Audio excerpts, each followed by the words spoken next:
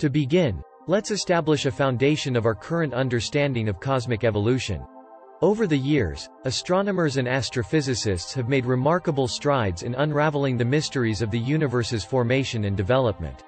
The widely accepted model is the Big Bang Theory, suggesting that our universe originated from a singularity and has been expanding ever since.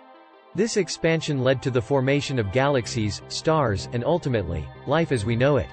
Now, let's turn our attention to the galaxy that has shaken the foundations of our understanding, GNZ11.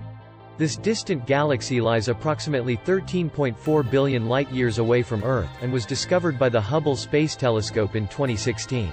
What makes GNZ11 so remarkable is that it existed when the universe was only around 400 million years old, making it one of the most ancient and distant galaxies ever observed.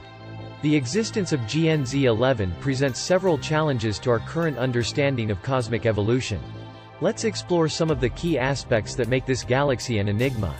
According to our understanding, galaxies take billions of years to form and evolve through the accumulation of matter and the merging of smaller structures. However, the presence of GNZ11 challenges this notion. Its existence so early in the universe's history raises questions about how such a massive and mature galaxy could have formed so quickly after the Big Bang. Another significant challenge is related to cosmic re-ionization. This process refers to the transformation of the universe from its opaque, neutral state to a transparent, ionized state. GNZ11's existence at such an early epoch suggests that cosmic re-ionization might have occurred much earlier and more rapidly than previously estimated. This challenges our understanding of the timeline and processes involved in this crucial phase of cosmic evolution. While the challenges posed by GNZ the 11th of May seem daunting, they also open up new avenues for scientific exploration and discoveries. Astronomers are actively studying this ancient galaxy to gain insights into the early universe, its formation, and the conditions that allowed galaxies to emerge so quickly.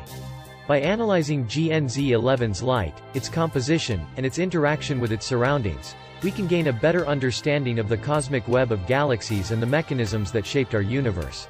In conclusion, the existence of the galaxy GNZ11 challenges our current understanding of cosmic evolution in profound ways. Its early formation and presence during cosmic re-ionization present us with puzzles that require innovative thinking and further exploration. As we delve deeper into the mysteries of this distant galaxy and expand our knowledge, we will undoubtedly gain fresh insights into the remarkable story of our universe's evolution. Thank you for accompanying me on this cosmic journey today. Let us continue to marvel at the vastness and complexity of the cosmos and remain inspired to push the boundaries of our understanding.